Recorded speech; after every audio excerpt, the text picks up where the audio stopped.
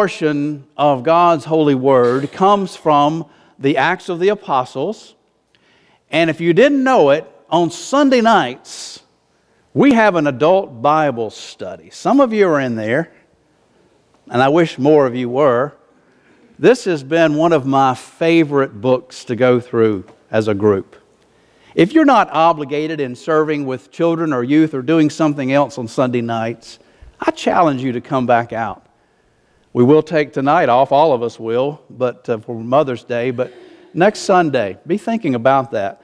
But one of the things that I have learned a lot as I have tried to be an instructor, I've learned so much in terms of the early church and really where we came from as Christians once that first Christian was brought into being. And so I think about that in, in terms of, wow, it just took the faith of so many for this to happen. And it surely did. And Peter was a big part of this. And this story about uh, Cornelius, this is so, so significant to us. As we read through here, we realize that we wouldn't be sitting here worshiping today if it weren't for Cornelius and Peter and ultimately the Lord who gave a vision to each of these men.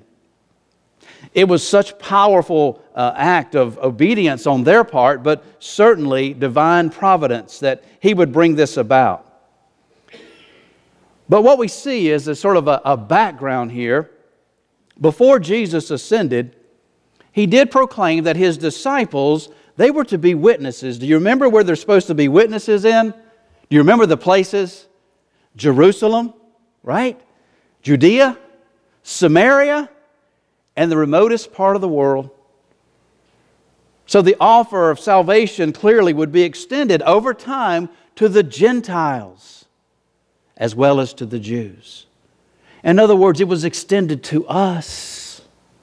Praise God.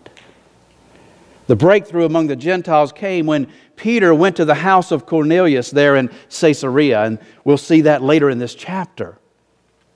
The story of breaking the Gentile barrier is told beginning with this first verse of chapter 10 and actually going all the way through the 18th verse of the next chapter. But there are several points that I would like for us to pay attention to this morning. First of all, God sets the stage of our lives. God sets the stage of our lives. Do you ever feel that way in your own life? God has orchestrated so much and has worked through situations to bring something about in terms of even where you are today. As I look back on it, I'm amazed at how God had worked through two different situations in my life where I lost a job after working hard for years. It was very unfortunate both times. One was more ministry related and one was more secular. But in both cases, I can see how God worked through that to bring me where I am today. The first was when I was in a situation after having graduated seminary in my 20s. I had been, it was a second career move sort of then. I had been in accounting, I had gotten certified, and things were looking good at the CPA firm. Good future, but God was calling me elsewhere. And as I did that, I realized okay, I'm going to try to be obedient. And I was in a situation there in Wake Forest, North Carolina, and I realized that things were getting so difficult. If I didn't leave, I was going to be asked to leave. Or my integrity was going to tell me I needed to leave. And so I accepted the opportunity to come to Richmond and to help what was then just a startup school of the Baptist Theological Seminary at Richmond. Wondering if it would even get off the ground. And there I was in that situation. And things, things started to move, and they were slow, but yet they did. And I was grateful for everyone who contributed and helped in any way and encouraged. But after a few years into the school, uh, finishing its first academic year, during that summer, I had to go. And so that was actually two situations I had to leave. And I ended up in secular work, and I ended up being with a company for 20 years. Had no idea that would happen. And then, toward the end of that, there was restructuring, downsizing, whatever you want to call it. It happens. And it hit hard. Thankfully, I was given some time and I was given the opportunity to look and uh, during those years was blessed to have gotten to know Wes Mason. And you know the catch there. And Wes, of course, introduced me later to Hunton and the interim possibility, and here I am today. Situations that were not pleasant. They were not pleasant. But yet, God sets the stage of our lives. And I learned so much, and I, have gotten to know so many people in all those places. And I try to stay in touch with many of them and their blessings. None of that was taken away. God just poured out blessing upon blessing because it's just added to the number of people, one of my great loves people in numbers. So here I am today. Well, God was setting the stage then. He was setting the stage in a big way for what was going to happen in terms of the gospel being spread truly to the uttermost parts of the earth. You see, before Peter went to Caesarea, there had been a real uh, build up to the breakthrough of the gospel among the Gentiles. In fact, if you go back to Isaiah in terms of prophecy in the sixth chapter, the Lord said that the restored ones of Israel would be a light to the nations. You'll be a light to the nations. Jesus in Luke 7 ministered to a Gentile centurion on the day of Pentecost, which, by the way, is next Sunday. Keep that in mind. Next Sunday is Pentecost, and I'm so excited because we're going to have baptism Sunday. On the day of Pentecost, there were, in Acts chapter 2, Gentile proselytes in the audience. Later, the gospel was preached by Philip. Remember that? Preached by Philip there in Samaria. That's Acts chapter 8. And the Samaritans, they, they weren't regarded as Gentiles because they were descendants of Jewish and Assyrian mixed marriages. But they were despised by the Jews. Well, after preaching in Samaria, Philip met an Ethiopian Gentile there in Acts 8, there on the road from Jerusalem to Gaza. The Ethiopian was converted. And then came, of course, what? In chapter 9 of Acts, the conversion of Saul. Saul, who became Paul, and he was to bear the name of Christ before the Gentiles. The buildup was considerable. God was setting the stage.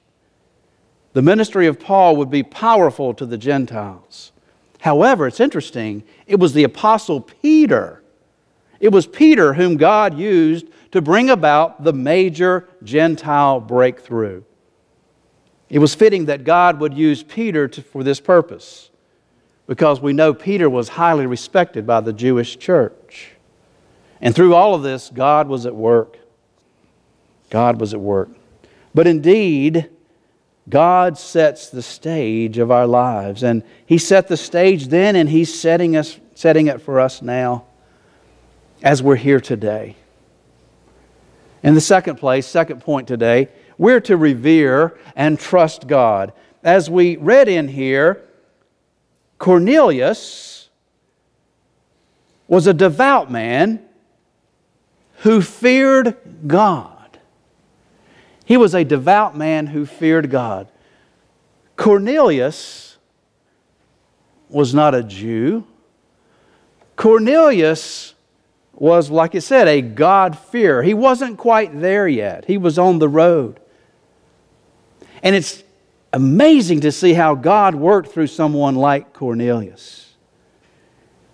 Cornelius and his household, it says, they were, they were devout. And I think it's important that we see that it included the household because That's what we're talking about today. We're talking about the importance of family. We're talking about being there for one another and encouraging one another and ultimately revering and trusting God. Last Sunday, during one of the services, I don't remember which one, but at the time of communion and the Lord's Supper, I made the statement that some people would look at this as, oh, you're just doing this, it's so routine, it's, it's a ritual, it's uh, mundane, Uh, you know, once a month you do this. I said, no, no, no, no. We do this.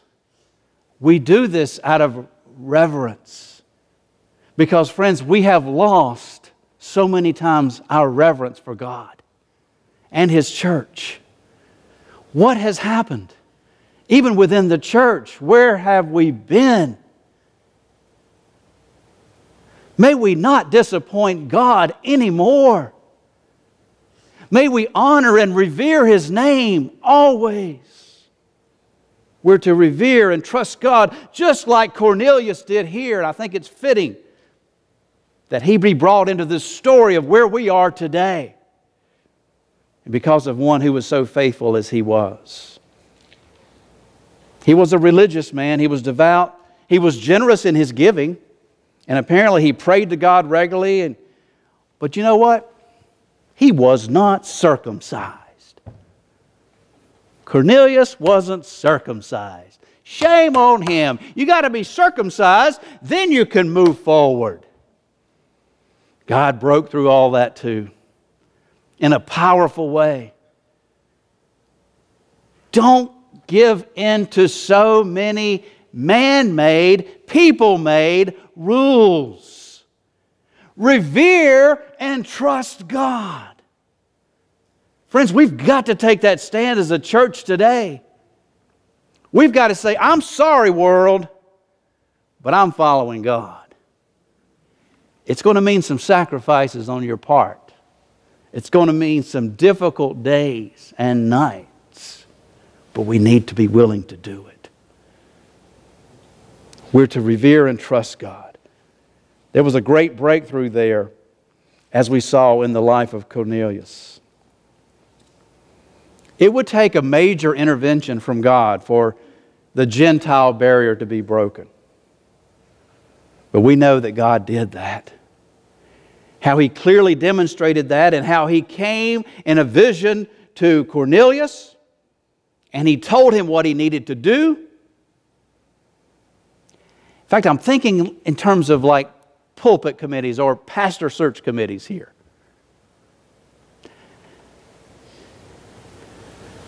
Mount Vernon Baptist Church is looking for a full time pastor. Don Runyon's been there seven, 37 years as senior minister. And he's ready to retire. And so they're going to get the right person, they pray, and the hope is that he can stay on board and then mentor and disciple that new senior pastor. Don't think about it, brother. Oh, it's I know there's a reason he knows about it. But what, what, what intrigues me is how this pastor search committee is going about about the situation because one of the members of the pastor search committee has actually called me several times, not, not for that, not, but for c- consultation. In, in terms of my experience, um, my knowledge of Mount Vernon, my understanding of Dr. Runyon, different things. And so I've been able to help her. Many of you know her, Carol Shoemaker technically probably still a member here, but a member at Mount Vernon. But Carol, um, she said, You know, we just want to make sure that we get the right person. I said, I know what you're saying. And, and I get excited thinking about that because what I know what's happening, I know exactly what's happening because we've seen God in history and how He works. Right now, God is grooming someone to prepare that heart to take on that role. Just as he's working through this committee of people who are praying about it and the two will meet. That's what was happening right here with Cornelius, and as we see a little further in the chapter, with Peter, who was concurrently having a vision. God showed him that don't consider any food unclean that I have considered clean. In other words, you need to get that out of your mind right now. The gospel ultimately is for everyone. The gospel is for everyone. And that's exciting to, to think about that happening. God works in that way. God is all powerful. We need to revere and trust Him. Just trust Him. In the third place today, we're to model Christ for our family. Now, whoever those family members might be, maybe they're living with you, maybe they're not, maybe they're your children, maybe they're your mother or grandmother. You model Christ for your family. Cornelius modeled Christ for his family. We need to do the same. I'm not just talking to the mothers today. Mothers bear a great responsibility, but so do dads. So do men and women who aren't even parents, who, who are just part of a family somewhere. We need to be modeling Christ for our family.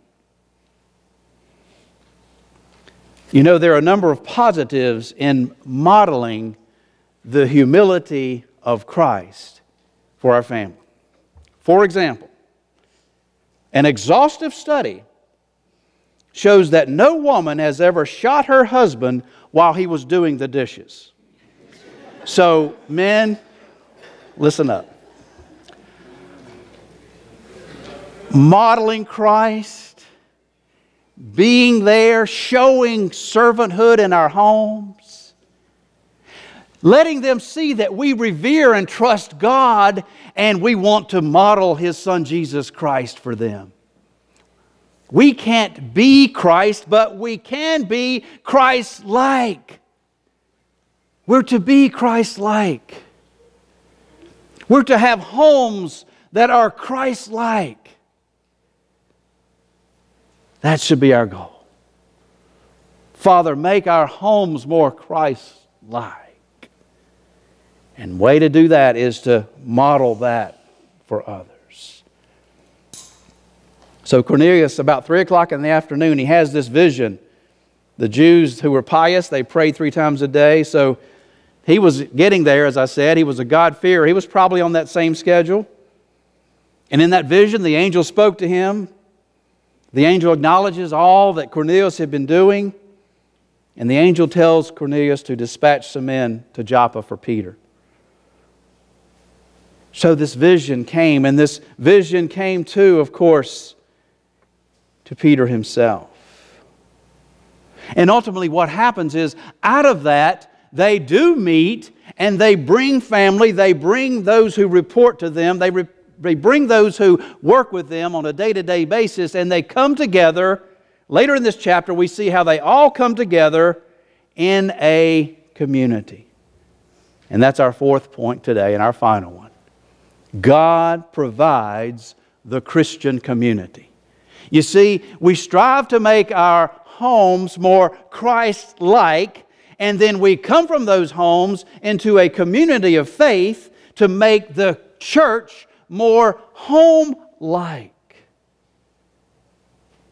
Christ like homes and home like churches. God provides the Christian community. Our children become part of the Christian community along with the adults. And that's what's exciting. That's what we have here today. And especially as all of our children were gathered here this morning, we're here to worship God, all of us, in a Christian community.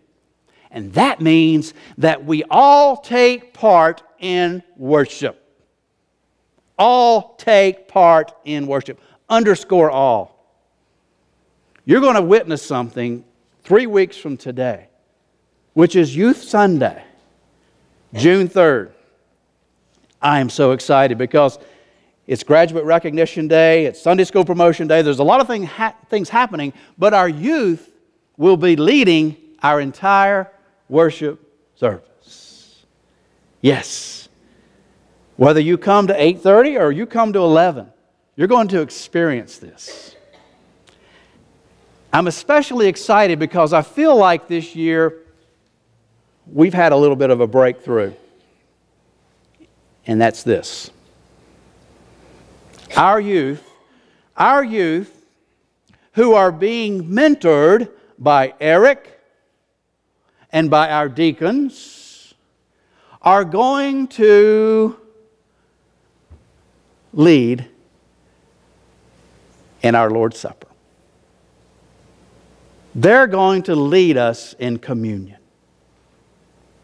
I cannot tell you, as pastor of this church, what a good feeling I've got about that. And maybe if you're sitting there today and you have some hesitation or reservation, I want to allay those fears. I want you to think about and pray about this.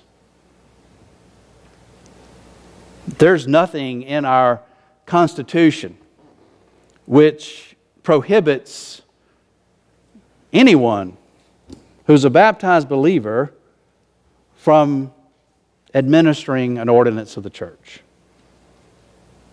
And certainly, there is nothing scriptural that would prevent that. In fact, I think there is an encouragement to that.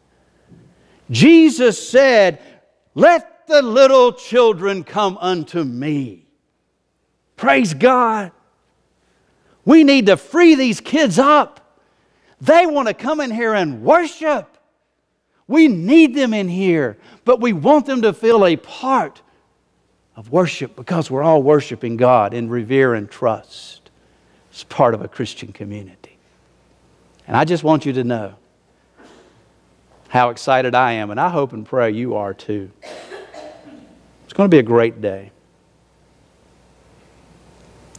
Well, God was at work then, and He is very much at work now. God has provided us the Christian community. No person can limit God into what He does. His purposes will be established. In closing today, I want to share a brief account from D.L. Moody, great evangelist, who, who shared this account really in order to give tribute to mothers, yes, but more importantly, to share the gospel of Jesus Christ. He shares this When the California gold fever, that gold rush, that broke out in 1849, a man went there, leaving his wife and his son in New England. As soon as he was able to get on and, and be successful, he was to send for them to then come on out. Well, it was a long time before he succeeded. But a few years later, at last, he got enough money to send for them.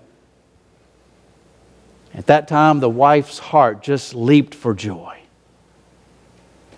She took her boy to New York and they got board, on board a, a Pacific steamer and they sailed away to San Francisco. Long journey. They hadn't been on board in that sea very long before they heard the cry of fire, fire. It was ringing through the ship, and rapidly it was gaining on them. You see, there was a powder magazine on board, and the captain knew the moment the fire reached the powder, every man, woman, and child would perish. They got out the lifeboats, but they were too small. In a matter of minutes, they were overcrowded.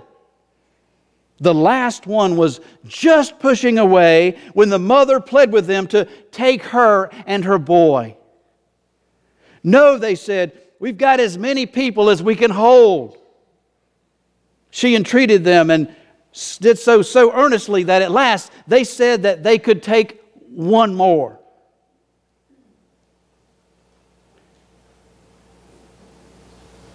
Do you think she leaped into that boat and let her boy die? No. She grabbed her son, gave him one last hug, kissed him, dropped him over into the boat.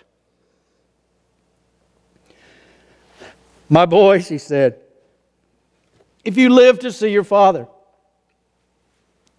tell him that I died in your place. Now, this is a faint picture, a faint picture of what Christ has done for us. God in Christ Jesus, God the Father, gave His only Son and He laid His life down for us. He died that we might live.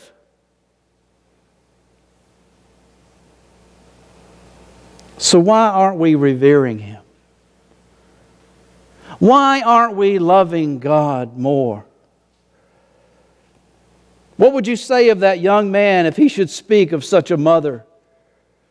She went down to a watery grave to save her son.